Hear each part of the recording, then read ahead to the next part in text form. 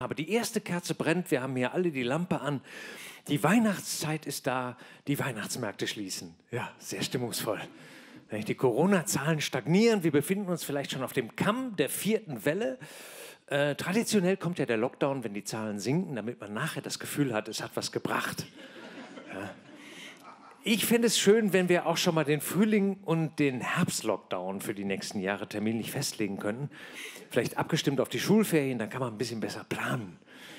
Ne? Weihnachtsmärkte waren bisher ja gar nicht so sehr als Hotspots aufgefallen, zumal sie eben draußen stattfinden, aber nach zwei Jahren Pandemie wird Politik immer noch von Tag zu Tag improvisiert, gehandelt wird nach Erregungslage. Und in der neuen Regierung brauchte man auch erstmal Bedenkzeit, weil man von dieser Corona-Sache offenbar völlig überrascht wurde. Ne? In der Politik sind ja immer alle überrascht. Ne? Was wollte ich sagen? Ich halte die Bevölkerung, äh, die Versorgung der Bevölkerung mit Glühwein, halte ich äh, für die einzig gangbare Perspektive, weil man hält das ohne gar nicht mehr aus. Also ich nicht. Also ich glaube, äh, ja.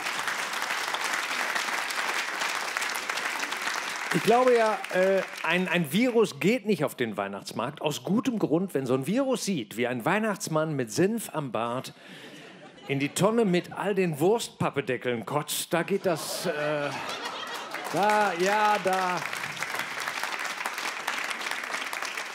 Da geht das Virus wieder auf die Tiere über, weil es da zivilisierter zugeht.